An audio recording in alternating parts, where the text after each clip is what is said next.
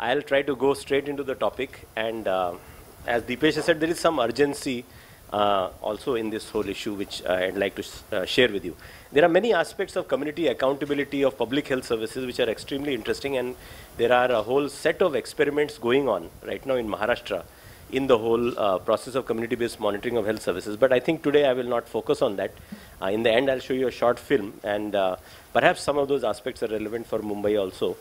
But I'll focus today basically on uh, the regulation of the private medical sector, the Clinical Establishments Act, the whole issue of patients' rights in private hospitals, and what is now on the agenda, and what probably we need to do or we need to uh, carefully look at. I start with Ghalib, and you must be aware of this share. Um, दर्द का हर हद से गुजर जाना ही दवा हो जाता हो जाता है which basically means that when a problem increases to such an extent that it becomes becomes uh, something you cannot ignore, then the solutions start opening up. And uh, it is my submission that today what we see in the private medical sector today in India, in Maharashtra, in Mumbai, is something which we can no longer ignore. Something has to be done. And something has to be done urgently. And this is not only for the poor, it's even for the middle class. And even, even for the upper middle class, it is a question which we cannot ignore. We have to do something about it. And we are doing something about it, which I had. Uh, okay. Now, this is what we have today in the health sector. There are two logics operating. Mind you, these are two different kinds of logics. One logic is profit logic, and the other logic is social logic. According to profit logic, if you can afford healthcare, you'll get healthcare. If you can uh, afford a lot of healthcare, you may get a lot of healthcare, including some healthcare which you don't even need. and if you don't have much money, then sorry, uh, you may not get much healthcare.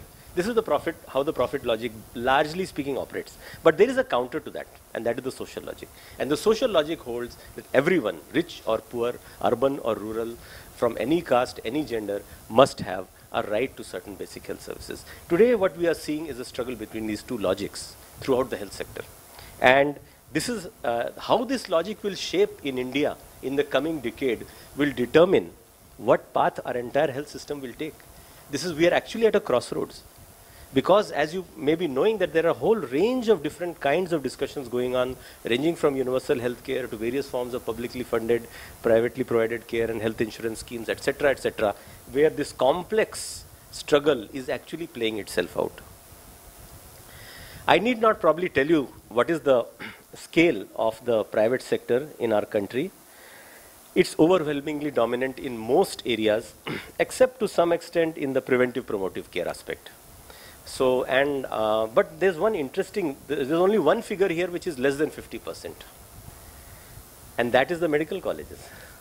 So now if you put two and two together, you may find something very peculiar going on. So the public system is producing doctors at highly subsidized rates through heavy sub public subsidies. All of us are paying for the doctors who are getting educated in these medical colleges and then 90% of them are going into the private sector. So actually, this is it even it's even more uh, a significant issue that we need to look at. So now in this kind of situation, uh, uh, we also know the other aspect. It although it is a giant, it is an unregulated giant, and it is a giant which is not yet um, really. Uh, following any kind of logic. So if one were to want to compare it with an elephant, an elephant has tremendous strength and power, but if uh, it is wild, then you know what happens. Probably you are all aware of uh, all these aspects, and I need not uh, re emphasize these. And uh, in fact, the situation has become such that we have almost normalized this. And we have almost sort of assumed that private hospitals aise hi chalne wale we have almost sort of become, we are getting sort of, uh, you know, accustomed to it, whereas actually this is an extremely serious situation. And because it has been deteriorating over a period of the last few decades, uh, we have probably not realized at any point of time the level of seriousness of the problem. But today, if 80% of outpatients, 60% of inpatients across the country, in Maharashtra, 90% nearly of outpatients and above 70% of inpatients are going to private hospitals, then isn't it the business of all of us to see what is happening there and to ensure as a society that people get rational, reasonably good quality care there. Unfortunately, we have given very little attention to this. It's almost surprising how little attention has been given to this issue. So, uh, I mean, myself and many of you are we very enthusiastically engaged with the public health system, which is very good. Because we are very concerned, you know, this is, it should work properly, it should get strengthened, and many of us are doing a lot of things. But if you compare that with the level of attention we have given to the private sector, I am pretty sure. Where is the proportion we have just seen? 80%, 20% in terms of resources and in terms of attention, public attention, social action, probably not even the reverse would also not, not be. So this is a big actually question and one answer to this is that people often don't know what to do with this. You know, if you have a public hospital, you can walk up there and say कि ये doctor साहब ये दवाई मिलनी चाहिए ये इलाज क्यों नहीं मिल रहा है मेरे ये राइट्स हैं But if you walk up to a private hospital, he'll say, sorry boss, get lost.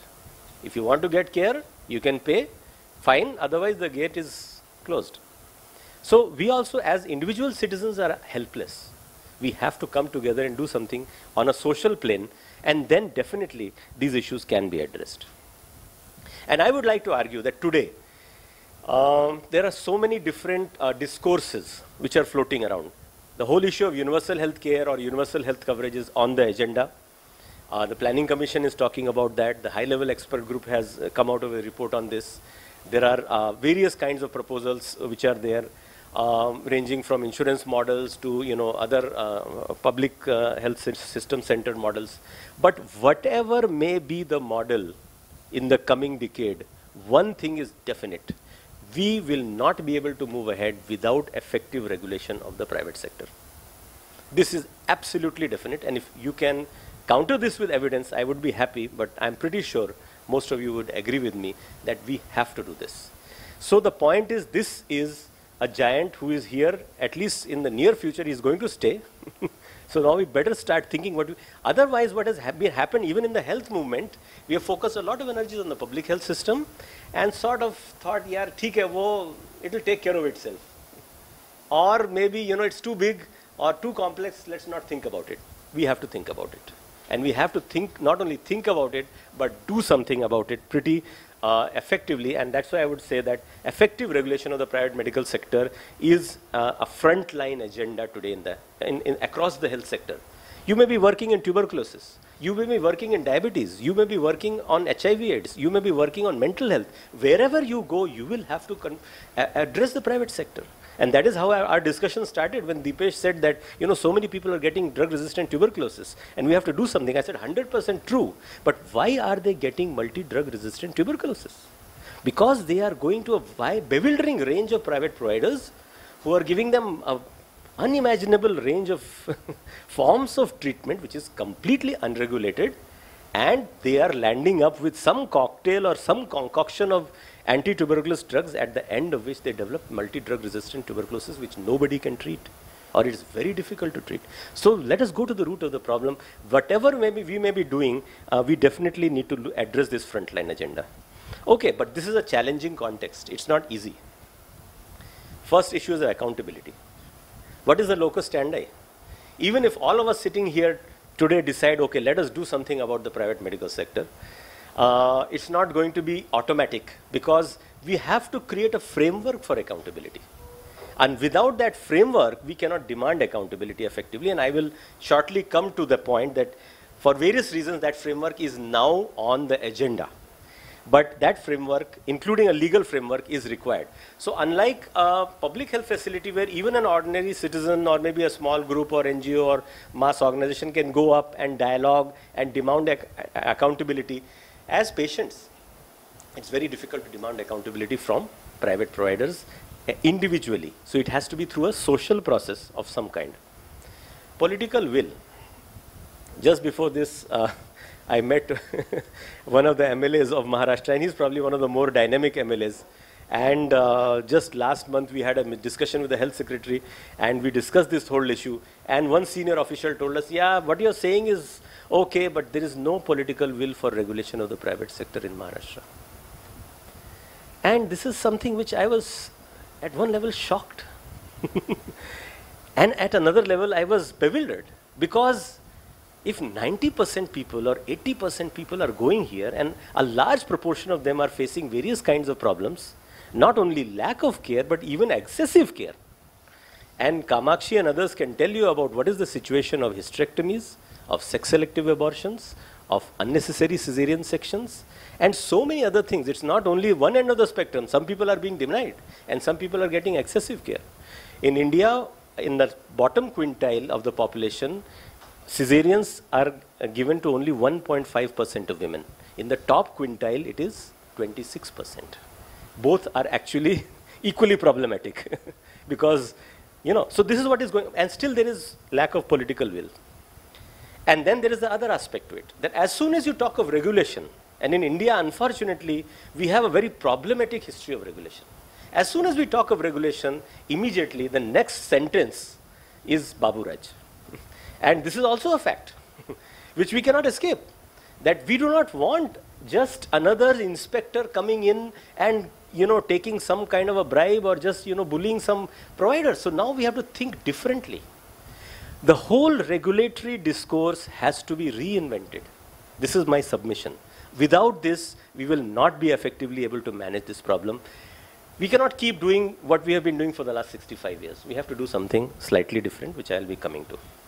Now, irrespective of regulation or no regulation, our government has gone ahead and said, yes, the private sector is there, give them public funds. So we have the RSBY scheme. In the morning, I was in a seminar in TISS on the RSBY scheme. And the findings, they have done a large study across Maharashtra on RSBY and uh, 6,000 household study, 30,000 individuals roughly. And of the number of people who had received hospitalizations hmm, out of that sample, only 1% got it through RSBY. These are eligible people. Hmm. People who are eligible to RSBY benefits, only 1% got it through RSBY. What is going on? Where is the remaining money going? a big question mark. But our government is going ahead uh, full scale, and now we have Jeevan Dayi Yojana in, Maha in Maharashtra and in Mumbai especially.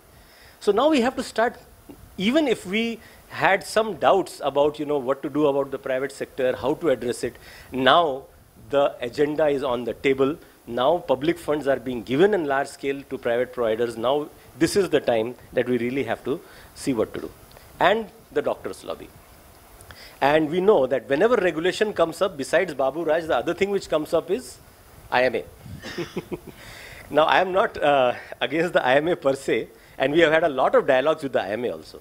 And uh, we know that there are a whole spectrum of doctors. Like any other profession, in among the medical profession, there is an entire spectrum. There are certain very rational and very sensitive doctors, and well, there are some others also. But the point is that when it comes to the public voice, unfortunately, there is only one body which tends to dominate the scenario. And therefore, we started looking, are there some other doctors also? And we found there are such doctors, but they are silent. Or they are not, they don't have a forum to speak up. So finally, we were able to, we drafted a letter that we want participatory regulation with patients' rights. And 55 doctors from Maharashtra, including several leading physicians from Mumbai and Pune, have signed on that document and sent it to the health minister because there is there are different voices even within the medical profession. But the point is that the organized voice, which often dominates the media, is uh, not always uh, very much in favor of regulation. So anyway, I think this is sort of more or less obvious. Uh, just the last point. Actually, I had a photograph, but I could not uh, put it in the slide.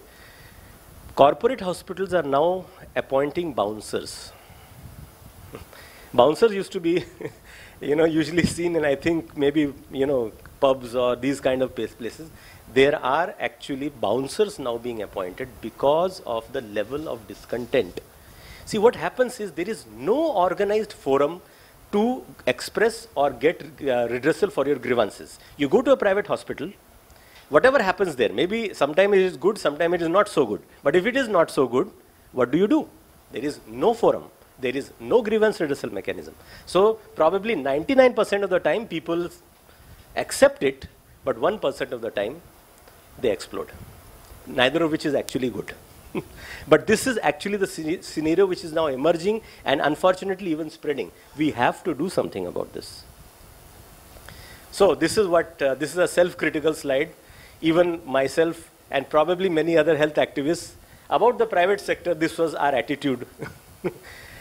अरे ठीक है यार वो कुछ चल रहा है ना ज़्यादा मत सोचो उसके बारे में पब्लिक हेल्थ सिस्टम को स्ट्रेंथन करो many times in the even in the people's health movement when we have had dialogues people have said strengthen the public health system and everything will take care of itself i would have partly agreed with that but today i don't agree with it i am saying that basically we have to start seeing what is going on we have to start speaking about what is going on we have to start hearing what patients are saying and we have to address this problem it's not going to go away it's there to stay. so let's better do something about it. Okay, now what is the state of various nursing? Now you, of course, all of you are uh, uh, familiar with the fact that we do have regulatory frameworks, including in Maharashtra. We have a uh, almost an antique act because it was passed in 1949 called the Bombay Nursing Home Registration Act. And you must be probably aware of some of the details about that even other states of India, many states do have certain kinds of acts. But if you go into a little more detail about what is there actually in these acts, they are mostly registration acts. So you have to get yourself registered. Um, there are maybe, in some cases, there are no rules. BNHRA, as you probably know, there are no functional rules today. There was a modification in 2005. Today we are in 2013. There's still no functional rules. There's an act without functional rules. So all that is happening is registration.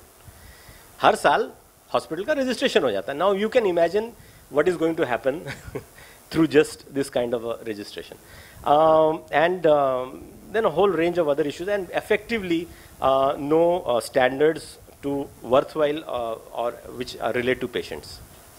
Okay, so now in this scenario, the central government wakes up. In 2002, you read the National Health Policy document, and it says an act to regulate the private sector will be passed within one year, 2002. So we had to wait for eight years after that.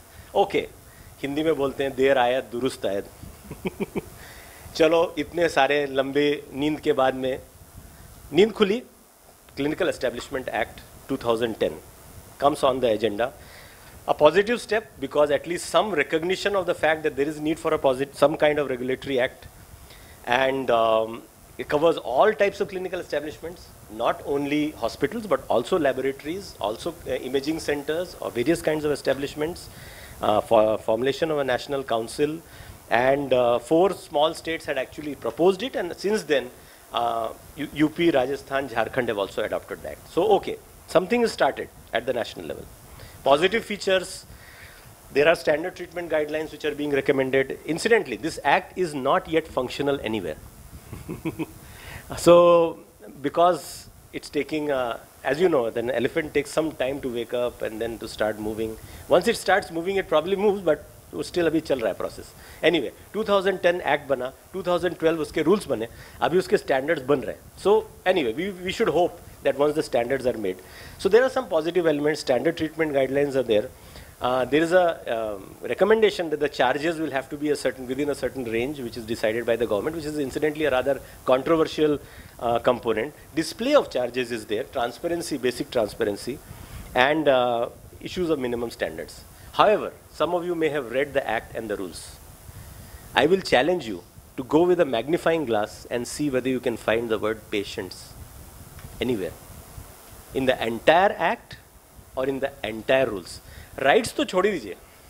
वो तो that is so it one start wondering what is the act for who is the act for अगर private hospitals को regulate करने का या establishments को regulate करने का एक्ट बन रहा है तो इसका पर्पज क्या है? The common sense thing is that this regulation will lead to better quality care for patients is in it I mean, that should be the prime and overriding objective.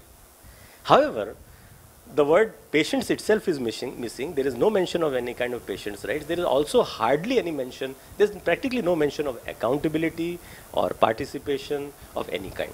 So, therefore, now I will come to the point that what is there in the Act and what is not there. There is a National Council which is prescribed, which has been formed.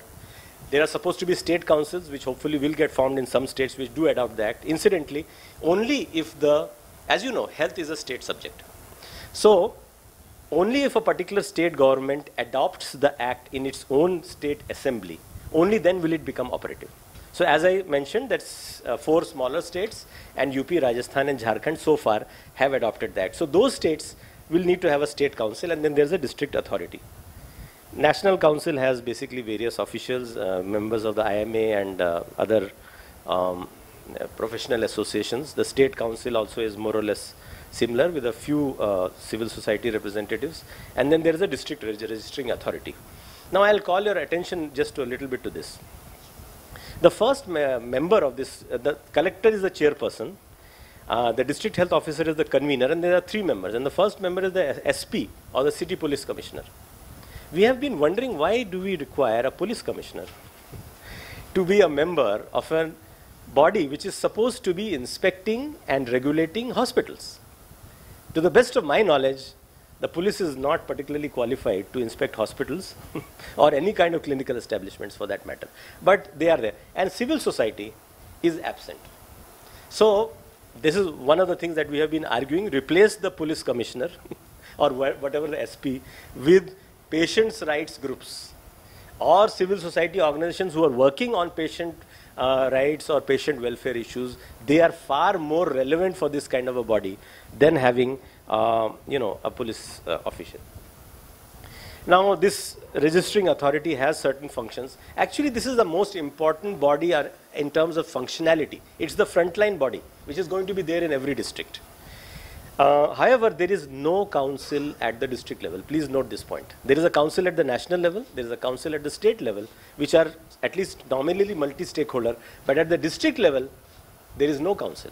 So what is going to happen in this scenario is that जो मैंने पहले slide में आपको बताया था inspector राज का ही थोड़ा सा वो वेरिएंट होने की संभावना because there is no multi stakeholder representation minimum standards are prescribed um, and uh, already a process is going on. The, there are some five national committees which have subcommittees which have been formed to formulate these standards. In this respect, also there is a apprehension that uh, larger hospitals, corporate hospitals, uh, and AIIMS-like institutions.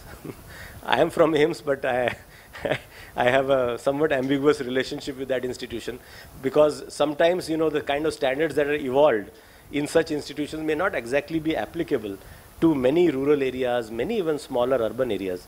So anyway, these standards are being evolved and um, there is, now the point is that once the act is adopted by a state government, there is very little scope for the, then the state to do any modification. This is an important point. So if tomorrow Maharashtra adopts the act, which is a real possibility, then there is almost no scope to make any modifications. And this we have reconfirmed with senior legal experts because it's a national act. However, since health is a state subject, every state government has full freedom to modify its own, uh, to adopt its own act, to formulate its own modified act and adopt it. Anyway, so now what are the kind of modifications which are required? Now one interesting point is throughout the entire uh, you know set of rules and uh, um, the act itself, there's no mention of who is going to do the regulation. And this is also a, an important point because uh, if you, there is no dedicated, dedicated you know, body to who will actually carry out these functions, then it's likely that the whole thing may just remain on paper. If there is no, so, and that is not specified anywhere. So one of our first demands at Jan Arogya Abhiyan, Jan Swasthya has been, there has to be a separate autonomous structure. It should be somewhat autonomous uh, which has a certain autonomy even vis-a-vis the public health system. Of course, it should be a public body uh, because these same, uh, you know, uh, this entire body is also going to regulate public hospitals. This is also an interesting point. So anyway, I'll come to that a little later. The second point is that whereas there, where there are national and state councils which have some limited representation, at the district level, there is no council which is multi-stakeholder in, in, in nature and we should have district level participatory councils. There is no scope for making a complaint against a clinical establishment once it is registered. Now this is very peculiar.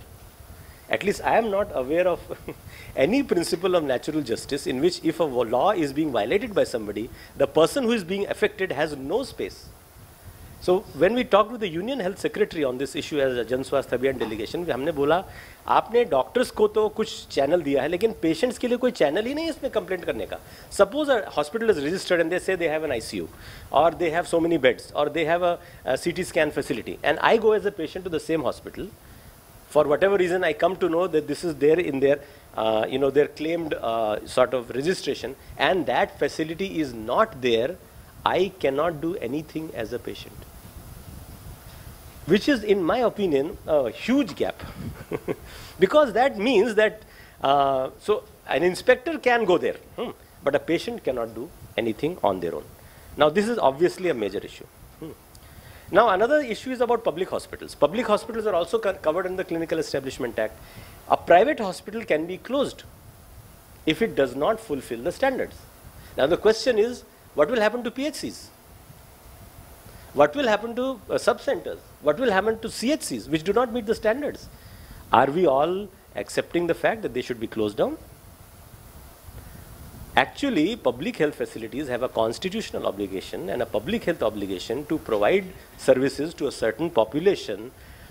We have argued that the option of closure should not be there for public health facilities. Rather, time-bound correction of the deficit to ensure that they meet the standard should be there. And there should be a differential provision for public health facilities rather than leaving them. When we raised this again at the national level, I mean, I was surprised. There had been no thought about this. So they said, अच्छा ऐसा है क्या अच्छा ठीक है वो बाद में देखेंगे अभी ये तो बहुत आप बहुत जल्दी ये सब इश्यूज़ उठा रहे हो अभी तो बहुत टाइम लगेगा ये धीरे धीरे एक्ट रोल आउट होगा उसके बाद देखेंगे आप चिंता मत करो पब्लिक हॉस्पिटल बंद नहीं होंगे हमने कहा आप बोल रहे हो लेकिन एक्ट में क्या लिखा है एक्ट में तो ऐसा कुछ भी नहीं है a point to be considered patients rights as I said the word patient it self is absent तो पेशेंट राइट्स की बात तो बहुत दूर की है and this is very serious because I mean, I need not tell you, most of you would be having various kinds of experiences, both good experiences and not so good experiences in private hospitals. And my hunch is some of them may be more on the side of not so good. Now, the point is that as a patient, do I have some rights in a private healthcare facility? This is a point of some discussion and debate. You may have a different opinion. But what we have been submitting is that private medical establishments are not just like, let us say, a pawn shop or a car showroom. this is an essential service. It's an essential social service which is being carried out uh, often with significant amounts of public subsidization directly or indirectly. Trust hospitals, as you know, have significant levels of public subsidization. And even other hospitals, often the um, entire medical, uh, you know, their human power has come, a large portion of it has come from publicly, you know, uh, funded medical colleges and so on.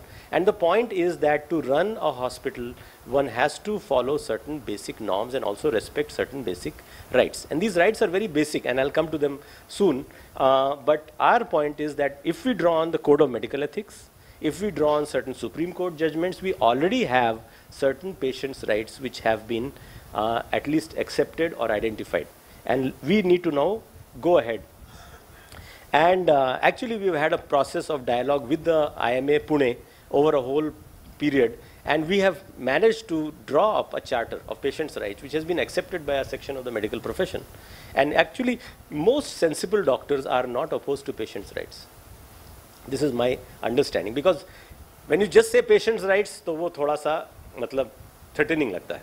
But when you start saying right to information right to second opinion right to emergency medical care right to confidentiality right to informed consent right for H I V positive people not to face any discrimination you know right to grievance redressal and so on these are things which are actually pretty common sense and some good doctors and good hospitals are already doing these things it's not that this is something totally you know out of the blue Why not codify it? And this is the discussion we have had with groups like IMA कि अरे वो थोड़े से doctor ऐसा करते हैं, बाकी सब डॉक्टर ठीक है। तो हमने कहा, ठीक है ना।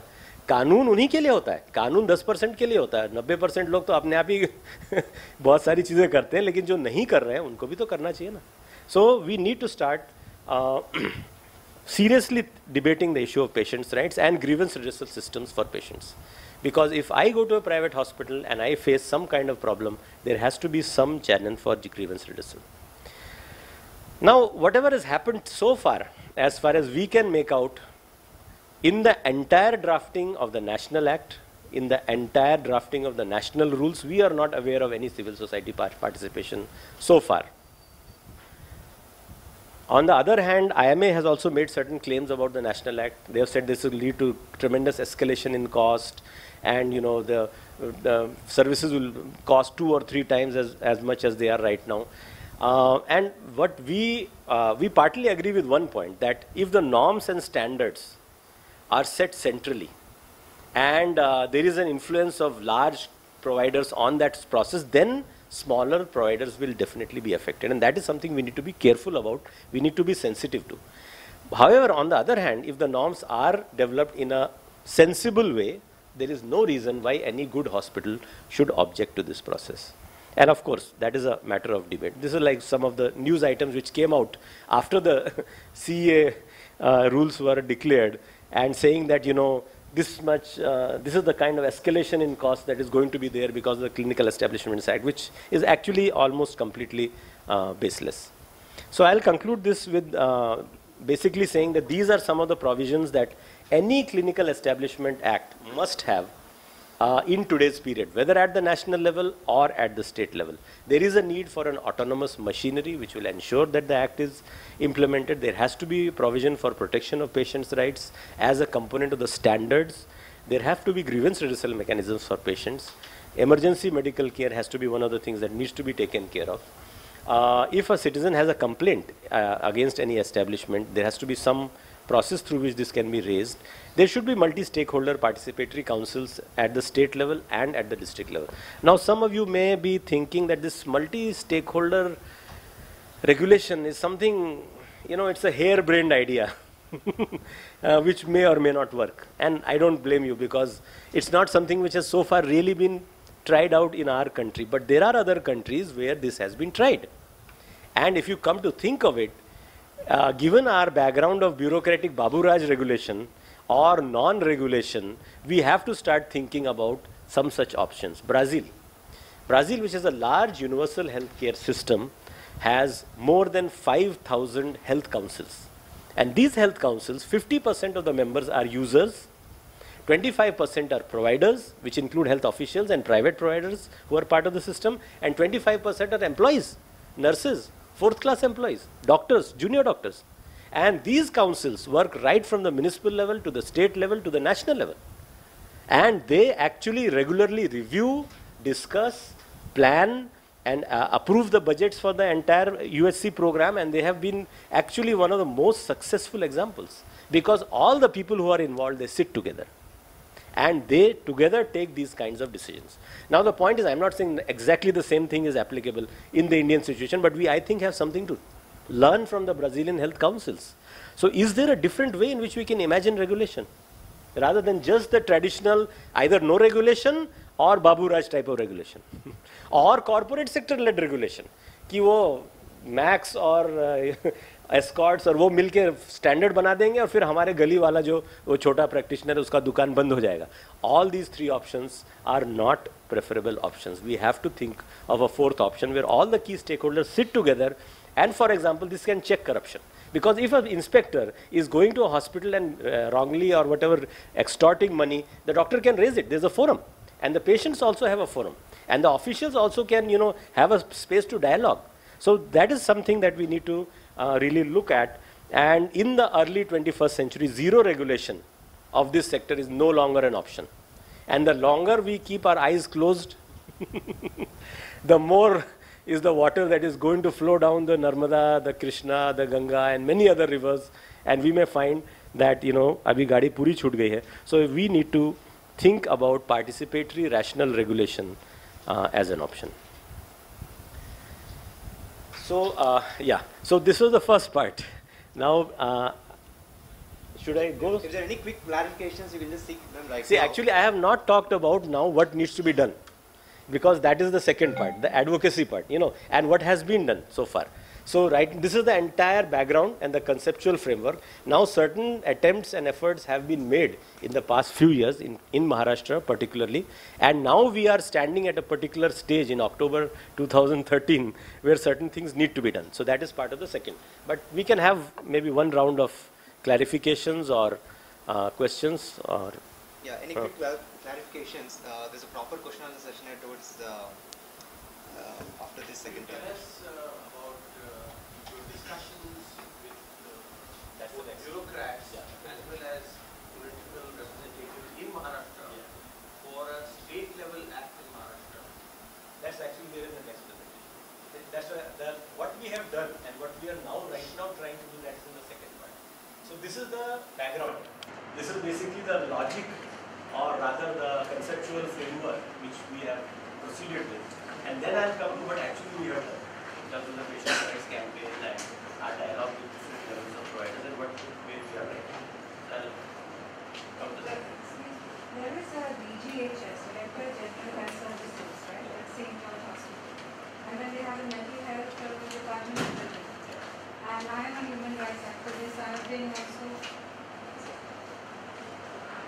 Um, So there were a lot of cases against psychiatrists that I have put through the mental health uh, department. And uh, in fact, uh, there was one psychiatrist who was running a mental um, health nursing home under general nursing home license, which we found out, we complained to the human rights and then they, you know, uh, spoke to the mental health department and they, finally that place got shut down. But for 30 years, the psychiatrist was practicing under this general nursing home license, which the BMC gives, and the BMC doesn't check. Mental health department, again, past few years I've been going there um, for different cases. They are supposed to, under the Mental Health Act, send inspectors every month to every mental health nursing home, which they do not do. That is why there are so many cases where, you know, psychiatrists are confining illegally patients who are fine. Otherwise, you know, they can be outpatients treated. At, they are confining for money. Lakhs of rupees are being charged. The patient's life is ruined because he's been forcibly drugged with psychotropic drugs. And uh, so wh- when I asked the mental health department why you don't send inspectors to each nursing home as it is in the, you know, uh, uh, in the Mental Health Act, it, is, it says so. We do not have staff. Can you believe this is the answer that they give? Why there are thousands of unemployed, you know, youths in uh, India, they, they can't, it's apathy, total apathy in the government. How you may, may, may make these acts, you may start administrations, different kinds of administrations, but when there is apathy in the people, it's sad. Nothing works, you know, when there is apathy. So we all have to, uh, you know, wake up and, and you know, uh, push the government to do something. We can't keep silent, we can't keep sleeping. I mean, this is the actual thing that is happening in the government. I've gone to IMA, they are absolutely useless. But the Director General uh, Health Services is a state body. Actually, they should be giving the licenses to even the private nursing homes, general nursing homes. Why should the BMC do it? BMC does absolutely nothing. See, actually, what is the situation is because there is no effective regulatory framework, this is very nominal kind of, you know, whatever uh, so called regulation is going on. So, there's just registration. Actually, there is no, uh, you know, system for uh, examining what kind of standards, who is a psychiatrist, what is a mental hospital, what kind of care is being given. And the point which you pointed out, actually, this is one area which is uh, a prime area where people should be involved. Because if you only rely on inspectors, of course, inspectors have some role or officials have some role. But if the entire thing is just that inspectors will go and you know see things, why not involve citizens in uh, you know in the entire process of uh, giving feedback about how various hospitals are functioning, what kind of problems are there, what kind of issues are there. If it is made participatory, if civil society organizations and citizens, I know, I know, yeah, yeah. This is absolutely criminal. What they did is criminal. And mental health is, of course, particularly bad. I mean, the whole situation.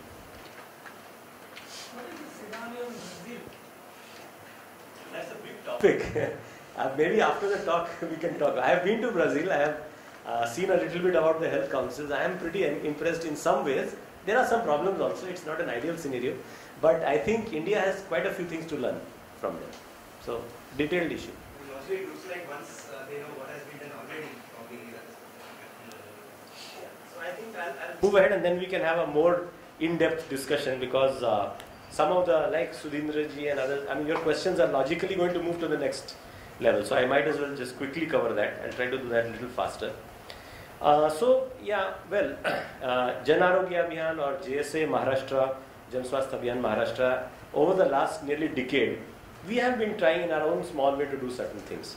And uh, the first thing is actually bringing private healthcare issues in the public domain, which is a huge challenge Because somehow मराठीमध्ये म्हणतात ज्याचा त्याचा प्रश्न means that's your own business. So it's a- almost as if if you go to a private hospital and have a problem, yo, sorry, I mean, it's unfortunate, but you know, it's your personal problem. Private health sector is not private, it's public. It's a public issue. What happens in the private medical sector is a public issue. This itself is a conceptual leap. you see, so how to do this? We have tried various things, you know, injection, saline, and so on. My colleague Dr. Anant Phadke and many others have been involved in this whole process. We have developed a poster exhibition which is based on Munna Bhai and circuit.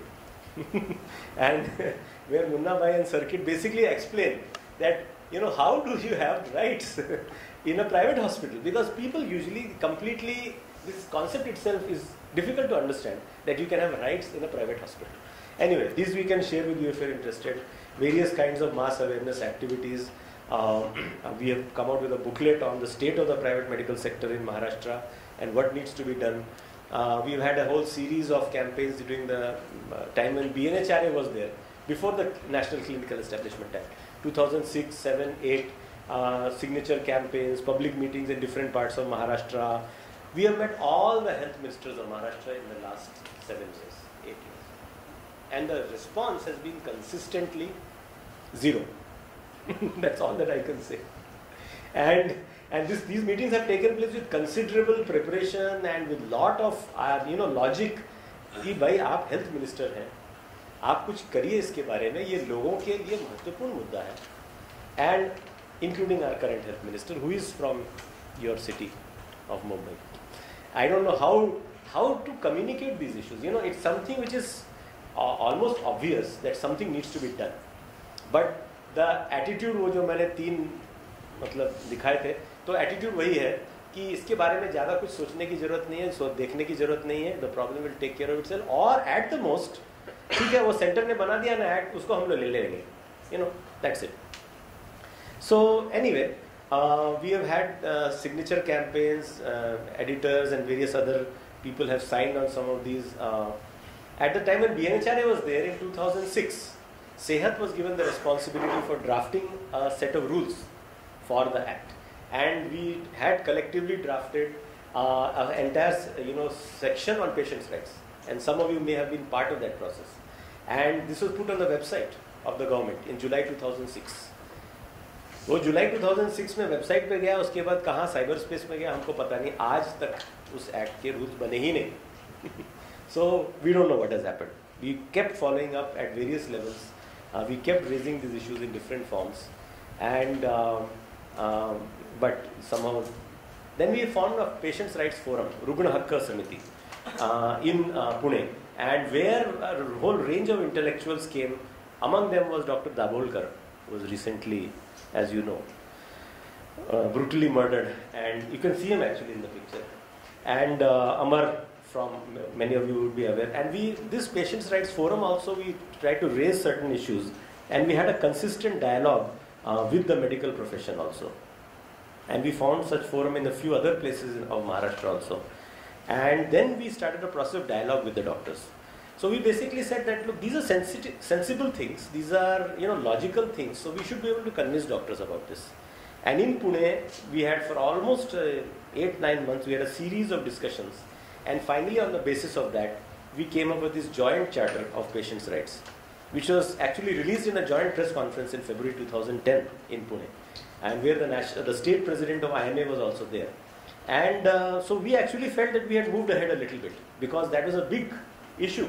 And then we thought the logical next step should be that now the state government should adopt this. ऐसा बोलते हैं ना मियाँ बीबी राजी तो फिर काजी को तो खुशी हो जाना चाहिए अगर पेशेंट भी राजी है डॉक्टर भी राज़ी है तो सरकार को राज़ी होने में क्या दिक्कत है? This was our simple logic but I realise that logic does not work always when it comes to the government so unfortunately उसके बाद वो कुछ गाड़ी आगे गई नहीं we presented this to at various levels anyway these are the issues these are the key points in this chapter incidentally it's also patients responsibilities उसका भी एक छोटा सेक्शन है. Because we of course agree that you know if the doctor is giving some advice that should be followed by the patient the patient should not be abusive or you know whatever towards any any healthcare provider, doctor or uh, other healthcare provider, etc., etc. And these are the 11 rights which were accepted by the IMA and by the uh, national president of the Federation of Gynecologists, Dr. Sanjay Gupta. And uh, we feel that these are actually very common sense and basic uh, kind of rights. There should be hardly any disagreement. Uh, those of you who are doctors are familiar with the Code of Medical Ethics. Half of these things are in the Code of Medi- Medical Ethics. It's not something, you know, totally new or something totally out of the blue, and some of them are otherwise legally like point number 10, 11, and 1. They are in some kind of law somewhere, in some form. And the FOGSI actually came out with a National Patients' Rights Charter, which actually has some of these points. This is from the FOGSI uh, poster, which they put. So the point is that some progress was made on this. And then we essentially have been arguing for this concept of social regulation. Now, social regulation is some comparatively new concept because it has three components. Of course, the state has to be involved in any kind of regulation in some form, but it is combined with participatory monitoring by citizens. And actually, the citizens who are involved or who are concerned or who are affected play an important role in ensuring that this regulatory process works in a way that fulfills social needs and not just fills the pocket of inspectors. And it should be combined with professional self regulation. Because, after all, in many other countries, doctors have regulated themselves. And logically, that should be a part of the process. Unfortunately, if it is completely left to that, the experience is not good in India. But they obviously, when you are formulating standards, when you are formulating standard treatment guidelines, obviously the medical profession will have to be uh, actively involved. So the point is, when the, there is this kind of a multi-stakeholder regulatory process, then there is a better chance that you know something effective will happen, and the regulation will not just be a purely bureaucratic kind of process. And then in December last year, after trying all other channels and exhausting all other options, we finally organized a demonstration in Nagpur uh, in front of the health assembly. All of us were dressed as patients. and we said that, uh, I mean, this is such a basic thing. Why is it not being done? Uh, and it was covered uh, reasonably well in the newspapers at that time. And um, outside the Vidhan, uh, Vidhan Bhavan. And after that, there was another uh, demonstration in March this year, where again there was a joint uh, demonstration by the Right to Food campaign and Jan Arogya Abhiyan, where again this issue was raised. And uh, basically, this whole issue was uh, strongly raised. And uh, we have, as I mentioned, we also have tried to reach out to doctors and convince them that, you know, you should support participatory regulation. We agree that bureaucratic regulation, completely inspector Raj type of regulation is not going to help anybody except certain inspectors. But uh, why don't you also, you know, support the idea of participatory regulation? And if there are district councils which are multi-stakeholder and where different stakeholders can sit together. So 55 doctors, as I mentioned, from different parts of Maharashtra, especially Mumbai and Pune. We had a meeting in Mumbai. Uh, I will, of course, we would ha have had to like more doctors, and probably there are more doctors out there who, who may be interested. Those whom we could reach in one short period, they have written a letter uh, to the uh, health minister. And we also had a campaign of sending SMSs to the health minister. We somehow got his mobile number and basically saying, please pass a Maharashtra Act with participatory regulation, patients' rights, and grievance redressal mechanism. ऐसा छोटा सा SMS हमने design किया. Some few hundred people sent that SMS. One of them got a reply, yes. okay. we don't know what happened to that. Anyway, uh, now coming to uh, आपका जो मुद्दा था कि what is the current situation and why, where is the urgency? This is more or less my last slide. uh, as Jan Arogya Abhiyan, after all these efforts, we met the health uh, secretary of that time, who was also the additional chief secretary, Mr. Benjamin. He was actually quite positive about this idea. And he said, this is actually pretty like common sense kind of thing, ye to hona. Uh, so he said, आप लोग ऐसे करिए you give us a draft bill with the modification हमने बड़ी खुशी से बोला yes of course so we and you know Jaya Sagade, Professor Jaya Sagade from the ILS Law School, a senior legal expert who has drafted many legislations and who also has a social orientation. She helped us and we also helped, got some inputs. And within less than a month, we submitted this draft. And those of you who are interested, we can circulate it to you. Hai kya?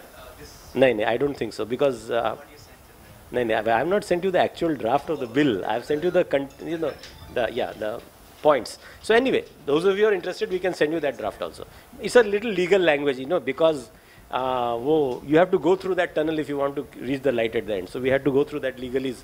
But anyway, so we submitted this. Then we had a meeting last month, and then uh, suddenly or somehow things changed, and then we were told by one senior official that um, you see there's a lot of additional work in drafting a new act, and you know we are very busy. And secondly, there doesn't seem to be any political will. This is literally what we were told. There does not seem to be any political will uh, on this issue. So we'll, it'll be unnecessary, you know, problem. काय आमदारांना ह्याच्यात काही रस येत नाही आणि काय हे अमुक तमुक and you know basically it's much simpler we'll just adopt the central act and what that means I have already told you And unfortunately, what it also means is once the central act is adopted in Maharashtra, there is nothing that we can then do at the state level. There is no modification possible not even a single sentence in the regulatory framework can be added or changed. District Council छोड़ दीजिए patients right छोड़ दीजिए grievance रेडिसल छोड़ दीजिए participatory regulation छोड़ दीजिए इसमें से कोई भी चीज़ फिर हम महाराष्ट्र में नहीं कर पाएंगे and we were told that perhaps in the winter assembly session which is in December in Nagpur they may be bringing the national act. So, since we have been told there is no political will. this is my one line appeal to all of you from the bottom of my heart. Let us build that political will. Because there just doesn't seem to be any other way, which means the ordinary citizens will have to do it. You see, if there is no political will from above, which is the deep tragedy of this state, Maharashtra is supposed to be a progressive state. I don't know. I've been going around with a microscope trying to search what is progressive in the in the in our political leadership. I have not succeeded yet. Maybe you might have a different experience. But anyway, whatever it may be, the point is that we need to meet legislators. We need to mobilize at least some of our elected representatives and tell them, भैया ये कुछ important issue है इस पे आप please कुछ करिए ये एक्चुअली सरकार के लिए भी बहुत पॉजिटिव चीज हो सकती है You see, the point is, if the government comes out tomorrow with an act which protects patients' rights and which also, you know, uh, protects smaller hospitals and uh, nursing homes from very uh, irrational kind of standards, there is no reason why it should not be hugely popular.